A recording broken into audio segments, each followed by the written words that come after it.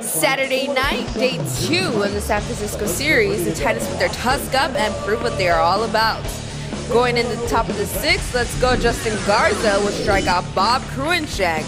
This will not be his first strikeout as he will leave the game with a career high of 12.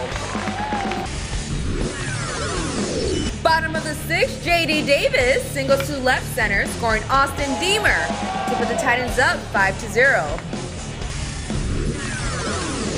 Bottom of the eighth, the momentum keeps rolling as Matt Chapman hits his first home run of the season. But it doesn't stop there. Later on in the eighth, the bases are loaded for Clay Williamson. He shoots a double to left to bring in three runs.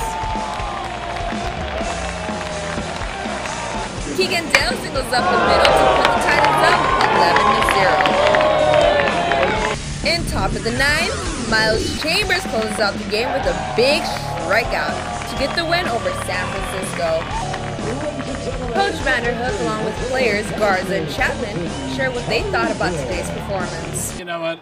Um, they just took a different attitude out. Um, you know, the tides got turned a little bit from last night to tonight. Last night we struck out 21 times. Tonight they struck out 16. Um, you know, Garza set the tone early.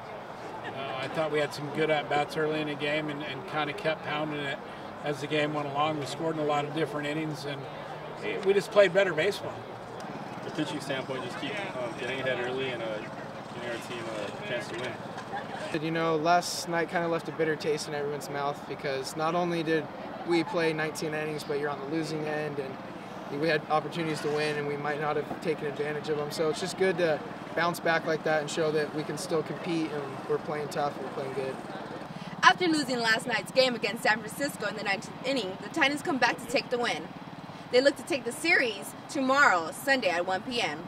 From Goodwin Field, Jasmine Arenas, Titan Sports Recap.